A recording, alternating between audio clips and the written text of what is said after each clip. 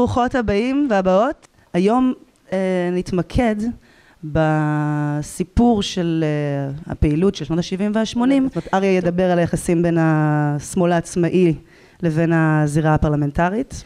אה, ואנחנו, ואיבון תדבר איתנו על אה, המעבר משמאל אה, אקטיביסטי, פמיניסטי, לתנועת נשים רחבה סביב האינתיפאדה הראשונה. התקופה שאנחנו מדברים עליה, שנות ה-70 ושנות ה-80, למעשה לא בדיוק חופפת או לא לגמרי חופפת תקופה ב... שקשורה לנושא שאני הולך לדבר עליו, או אם להגיד את זה במילים יותר פשוטות, ביחסים בין השמאל העצמאי, כפי שאנחנו מגדירים אותו, השמאל החוץ פרלמנטרי, לבין המערכת הפוליטית הפרלמנטרית, היו בשנות ה-70 וה-80 לדעתי שתי תקופות שונות לחלוטין. שנקודת המפנה ביניהם, שמבחינה ביניהם, היא מלחמת לבנון הראשונה. אז אה, את הסקירה אני אתחיל, מאחר ואנחנו מדברים, אז, אה, אז אני אגיד ששתי התקופות, שתי תקופות, תקופות המשנה, שאליהן אני יכול לחלק את התקופה הארוכה הזאת, אה, לא, לא נבדלות ביניהם, לא כל כך, לא בפעילות של השמאל העצמאי, וגם לא ב, ב, בהרכב של המערכת הפוליטית הפרלמנטרית. מה שמשתנה בצורה בולטת זה המצב המדיני ב, ב, בארץ ובאזור אחרי מלחמת לבנון הראשונה, וזה מה שמביא לשינוי שאני אעמוד עליו בהמשך הדברים ביחסים בין השמאל העצמאי לשמאל הפרלמנטרי. בשנות ה-70, התקופה הראשונה, אה, התקופה שקודמת למלחמת לבנון, למעשה אם אני צריך, אם, אם אנחנו מנסים לבדוק מה היו יחסי הגומלין בין השמאל העצמאי, נקרא לצורך העניין קמפוס, או הוועד, אה, אה, הוועד שקדם לוועד נגד המלחמה בלבנון, הוועד לסולידריות עם בירזט, לבין בין הגופים האלה לבין השמאל, לבין, לבין המערכת הפוליטית הפרלמנטרית, הייתי אומר שכמעט ולא היו יחסים. כל אחד משני, משתי המערכות האלה פעלה במישור אחר, ו, ונקודות ההשקה ביניהם היו מועטות מאוד. עכשיו, בתקופה הזאת שאנחנו מדברים עליה, מתחילת שנות ה-70 ועד, ועד תחילת שנות ה-80, מתרחש המהפך הפוליטי הגדול במדינת ישראל. המהפך הפוליטי הגדול הזה במדינת ישראל, עליית הליכוד לשלטון, בעצם לא משנה שום דבר במערך הפרלמנטרי מנקודת הראות הזאת. משום שבקדנציה הראשונה של בגין, מפלגת עבודה ומפ"ם שהיא חלק מהמערך עם מפלגת עבודה, הם הם, הם ממשיכים לתפקד כחלק מהקונצנזוס הלאומי כדבר שמנותק לחלוטין מהשמאל העצמאי שאנחנו מדברים עליו. השינוי מתרחש במלחמת לבנון. אחרי מלחמת לבנון מתחילה תקופה חדשה שהיא התקופה הראשונה והיחידה בהיסטוריה של השמאל העצמאי שבה השמאל העצמאי הזה שאנחנו מדברים עליו משפיע השפעה ממשית גם אם לא דרמטית גם אם לא מאוד מאוד אה, חזקה, משפיע השפעה ממשית על, על הנעשה, במד... על התהליכים הפוליטיים המרכזיים במדינה. והתהליכים הפוליטיים שנפתחים עם מלחמת לבנון ונמשכים עד, לח... עד לחתימה על הסכם אוסלו בעצם מתנקזים תביעה שמועלית על ידי השמאל העצמאי שמופנית לעבר מרכז המערכת הפוליטית ו, ולאט לאט גם חודרת אליה. והכוונה היא ל, ל, לקריאה המאוד מאוד פשוטה להכיר באש"ף כנציג של העם הערבי הפלסטיני ולנהל איתו משא ומתן. זאת התביעה שהשמאל העצמאי מעלה בשנות ה-80 והוא מפנה אותה לעבר המרכז הפוליטי והוא גם מצליח וזאת ההצלחה היחידה בכל תולדות המדינה שניתן לייחס, לייחס, שלדעתי ניתן לייחס לשמאל הזה. ש, שהוא הצליח בשנות ה-80 לאט לאט להחדיר לתודעה הציבורית במדינת ישראל ואל מרכז המפה הפוליטית, זאת אומרת אל מפלגת העבודה, את הצורך להכיר באש"ף כנציג ה, כנציגו של העם הערבי הפלסטיני ולנהל איתו משא ומתן.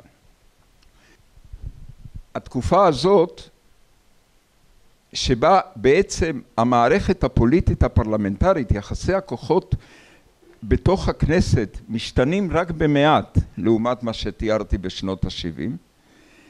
אה, בכל זאת נפתח, נפתח, נפתח עידן חדש שבו השמאל העצמאי מתחיל, משפיע השפעה של ממש. השינוי, בכל זאת יש איזשהו שינוי במערכת הפרלמנטרית בשנים האלה והוא נובע מהעובדה שאחרי הבחירות ב-1984 אה, מפלגת עבודה מחליטה להיכנס לממשלת אחדות לאומית עם הליכוד מה שמביא להתפרקות המערך לפרישת מפ"ם מהמערך וחזרתה להיות אה, מפלגה עצמאית. ובשנות ה-80 יש לנו מצב חדש שבו השמאל העצמאי פועל בעיקר לעבר הכיוון הזה. ראובן קמינר כמובן זוכר יותר טוב ממני את הנסיעה לרומניה ואת כל מה שבא אחריה את, את העמדה לדין של ארבעה מפעילי השמאל שנסעו לרומניה להיפגש עם, אנשי אש"ף אה, הנסיעה לרומניה הייתה ב-1986 נכון? כן, אני יכול... אה, ב-1986 כשהתביעה לנהל משא ומתן עם אש"ף גוברת, עוצמת התביעה גוברת ודחיפות המפגשים בין ישראלים לבין אנשי אש"ף במקומות שונים בעולם גם היא גוברת, נחקק החוק לאיסור המפגשים עם אש"ף. חוק ש, ש, שנחקק ב, ב, ביוזמה ממשלתית של הממשלה ששמעון פרס עומד בראשה בשנת 86. אה, זאת כמובן התגובה של הממסד להתגברות המגעים עם אש"ף. בעקבות חקיקת החוק מתארגנת קבוצה של כ-20 איש שנוסעת לרומניה למפגש רשמי וגלוי עם אנשי אש"ף. אחרי הפגיש... אח... כשהם חוזרים מרומניה נגד ארבעה מהם ראובן קמינר, יעל לוטן, לטיף דורי ואליעזר פיילר מוגש כתב אישום בסוף יצאתם בזול בסוף קיבלתם קנס של אלף שקל או משהו נכון? כן. אבל, אבל זה היה סיפור שנמשך הרבה זמן וש... וש... אה, אז, אז, אז העוצמה שבה עולה התביעה הזאת וה, וה, והתגובה של הממסד לתגובה הזאת, לתביעה הזאת, הם ש, שמסמלים, הם, הם שמאפיינים את כל התקופה הזאת, שהיא כפי שאמרתי התקופה העיקרית שבה השמאל העצמאי משפיע על המערכת הפוליטית. עכשיו אני הזכרתי קודם כבדרך אגב את שלום עכשיו. אה, היחסי הגומלין בין השמאל העצמאי לבין המערכת הפוליטית משתקפים גם ביחסי הגומלין בין, שבין השמאל העצמאי שאנחנו מדברים עליו לבין שלום עכשיו. כי שלום עכשיו תמיד היה הגוף ש, שאותו השמאל הרדיקלי יותר רצה לש, לשכנע לשנות את עמדותיו. ו, ובואו נזכור שאחד ההישגים הגדולים ביותר של השמאל העצמאי זה ההפגנה הראשונה בכיכר מלכי ישראל נגד המלחמה בלבנון. עשרים אלף איש באים להפגנה הזאת זה הישג אדיר הישג אדיר אבל ההישג הלא פחות גדול של ההפגנה הזאת זה שההפגנה הזאת מאלצת את שלום עכשיו לקיים כעבור שבוע הפגנה באותו מקום שאליה מגיעים כבר קרוב למאה אלף איש. אז אה, כל המערכת הזאת בעצם שלום עכשיו מקבלת באופן רשמי את התביעה את מכירה רשמית באש"ף ומקבלת את התביעה לנהל משא ומתן איתו רק ב-1988. לא לפני זה רק רק שבוע אחרי שהממשל האמריקאי מקבל את העמדה הזאת אז גם שלום עכשיו מקבל אותה ומשם זה ממשיך לזלוג לתוך המערכת הפוליטית אנשים כמו יאיר צבן ממפ"ם נוסעים לפגוש אנשי אש"ף, אנשים במפלגת עבודה כמו יעל דיין או אברום בורג או, או יוסי ביילין, אנשים שאין כמעט, יש מעט מאוד ביניהם לבין השמאל. השמאל שאנחנו קוראים לו השמאל עצמאי, מקבלים גם את העמדה הזאת וכל זה מוביל בצורה איטית הדרגת, והדרגתית אבל אה, בקו ישיר אל הסכמי אוסלו. עכשיו לכן אה, אה, היום כמובן אה, אנחנו יודעים שהסכמי אוסלו לא היו הצלחה גדולה אבל, אבל התרומה הגדולה של השמאל העצמאי היא בכל זאת לשינוי העמדה הישראלית שסרבה להכיר בקיומו של עם פלסטיני בעצם, סרבה להכיר, סרבה להכיר ב, ב, ב, בנציגות הפוליטית שלו והכישלון הגדול של השמאל העצמאי אבל זה אולי נושא שאני מציע שנדון עליו בכינוס, בכנס הנוסף בשנה הבאה. הכישלון הגדול של השמאל הזה הוא שכשנחתם הסכם אוסלו, כש, כש, כשמושגת הכרה הדדית בין ישראל לאש"ף, פתאום כולם נעלמים. והשאלה למה כולם נעלמים, באמת זו שאלה לדיון אחר.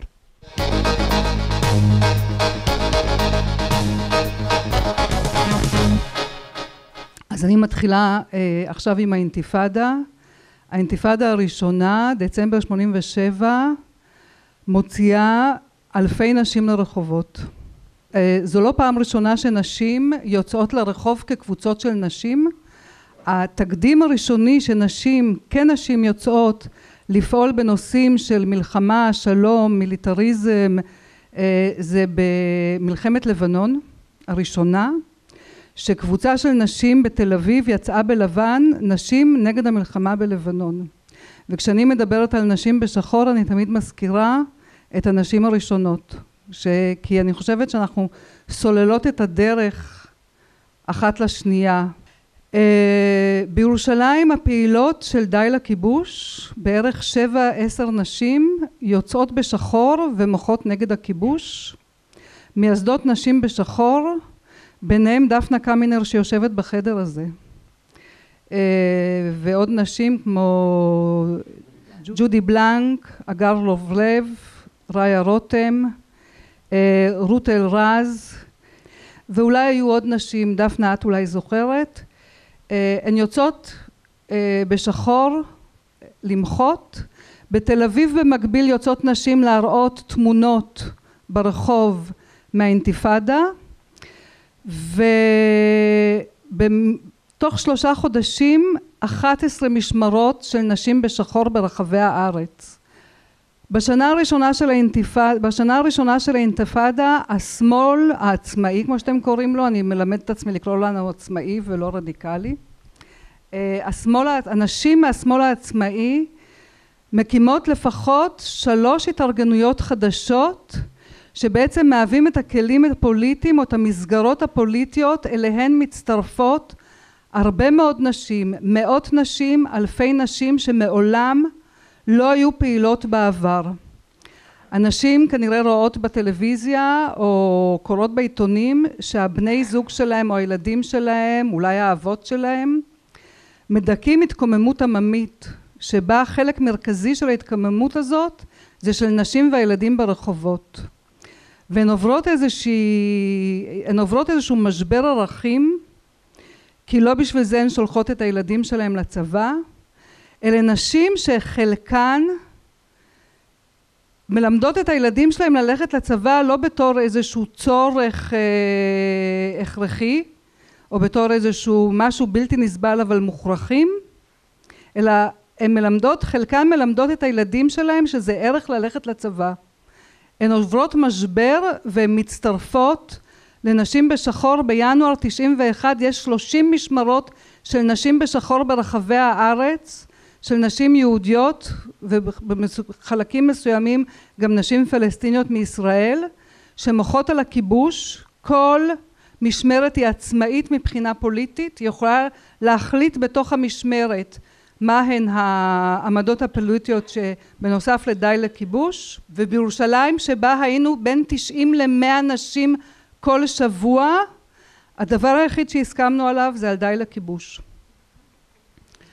אני נוהגת להגיד כי היה צריך להכיל אנטי ציוניות, לא ציוניות וציוניות באותה מסגרת, באותה קבוצה פוליטית. אז זה האנשים בשחור. במקביל הוקמו, בירושלים הוקמה שני, נשים נגד הכיבוש, שהייתה קבוצה, דפנה תתקני אותי, את היית פעילה שם, הייתה קבוצה של נשים מהשמאל העצמאי ונשים פמיניסטיות, חלקם אקטיביסטיות פמיניסטיות שמעולם לא עסקו בכיבוש. הקבוצה הזאת למדה, למדה את ה... אה, למדה, עשתה, עסקה בחינוך פוליטי, עסקה במחאה, אני זוכרת קמפיין בנושא של חינוך.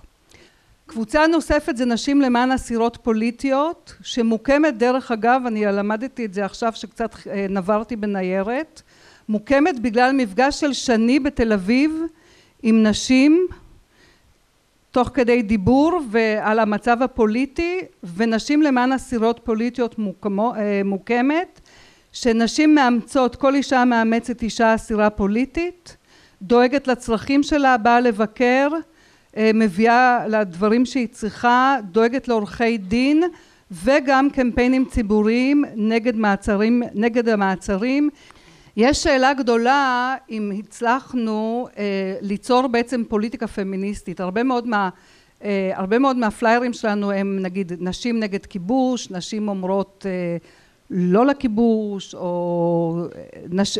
הוספנו לפוליטיקה במידה רבה הוספנו לפוליטיקה אה, מרכזית של השמאל העצמאי את המילה נשים אני חושבת שהאתגר הוא ליצור פוליטיקה פמיניסטית שהיא נגד כיבוש נגד מלחמה אה, ולמען שלום.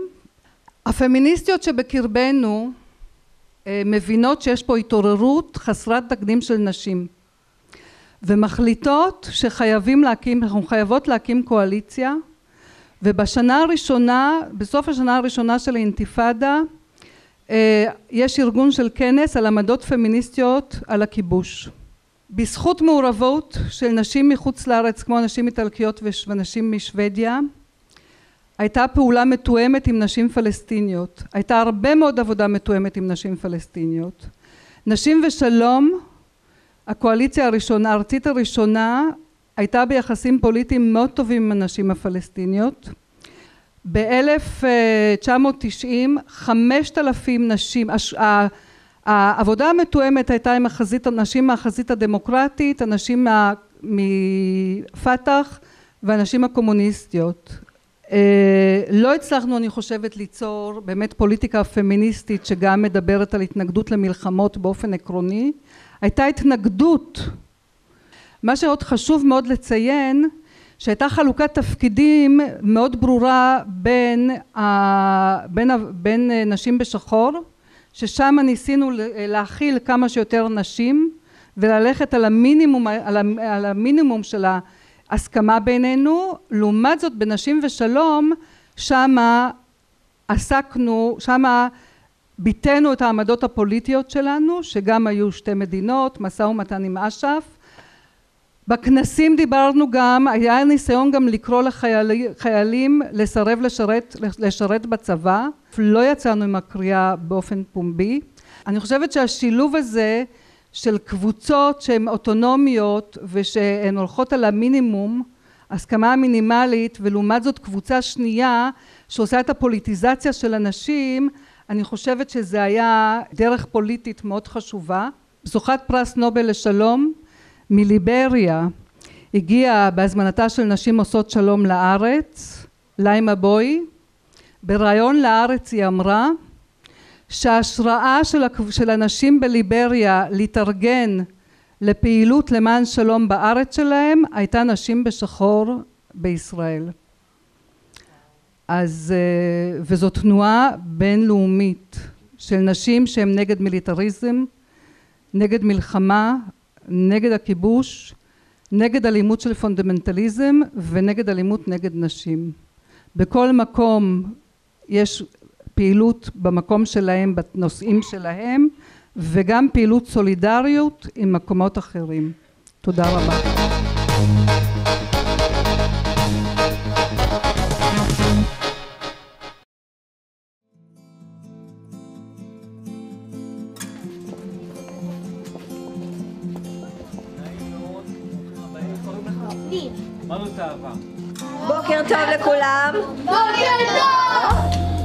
נמצאים במרכז אנוש בגבעתיים, ולמעשה בארבע שנים האחרונות עברנו תהליך של, של שינוי, אה, להפוך את מרכז התעסוקה שנמצא כאן למרכז שמתעסק בקיימות ואקולוגיה. בעצם מספק ימי אירוח חווייתיים לתלמידים אה, בבתי ספר יסודיים, כדי שיגיעו לכאן וילמדו קצת יותר על איך להיות ידידותיים לסביבה. המתמודדים שעובדים כאן עברו תהליך ארוך, שבו בעצם הם למדו להפוך מאנשים שעובדים ונהנים מהגינה למדריכים. יש לנו מים, יש לנו אוויר ויש לנו אדמה, ויש לנו את הרכיב הסודי שזה אהבה. ובעצם דרך חמשת היסודות האלו הילדים לומדים כאמור על אקולוגיה וקיימות, דרך מתקנים והדרכות פרונטליות והתנסויות חווייתיות. שדות ירוקים הוא קודם כל מרכז תעסוקתי, שמשמש מרחב לפעילות שיקומית תעסוקתית עבור כ-30 אנשים מבוגרים המתמודדים עם מחלות נפש קשות. המקום הזה משך אליו בעיקר אנשים שמקומות התעסוקה השיקומיים הרגילים כבר לא התאימו להם. ודווקא החיבור לגינה, לטבע, עשה משהו מאוד טוב לתהליכי השיקום שלהם. וכאן אנחנו מפתרים הבעיות הזה, לדוגמה מתקן מערכת אקופונית, אקווה, מים, פונית, צדקייה. תסתכל, יש כאן אקווריום עם דגים יפים? העובדה שילד נכנס למרכז הזה ושומע ולומד מאדם, ראשית מבוגר ממנו, שסובל מאיזשהו סוג של מוגבלות, מבחינתנו זה ערך חינוכי כפול.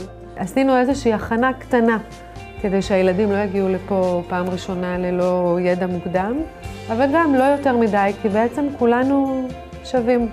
העצמה שביכולת שלי לקחת את הידע שצברתי, להעביר אותו הלאה, הוא רווח אדיר. לעמוד מול הילדים בביטחון, לתת להם את ההרגשה של מבוגר שמלמד אותם משהו חדש. לעבוד עם הילדים מאוד נעים, כי ילדים נחמדים מאוד, וילדים כזה חברומנים, ונעים מאוד להסביר להם, להדריך לתפקד, וזה טוב משפיע על הנפש שלנו. כדי שיתרחשו אירועים משמעותיים צריך שתהיה מנהיגות מקומית מתנדבת, שמבינה שיש לה אחריות משמעותית בקהילה. רשות מקומית, עיריית גבעתיים, שלוקחת אחריות על האזרחים שלה, על כל גווניהם. משרד הבריאות, שמבין שיש לו תפקיד גדול ליצור מערכת שיקומית ראויה ומיטיבה, וגם פילנטרופיה. בלי פילנטרופיה, בלי משאבים, שגם הם דורשים מנהיגות, בלי דן וגלוריה שוסטרמן, שראו את הקסם של המקום עוד לפני שסיפור ההצלחה היה אמיתי, כשהוא היה רק בגדר זרע.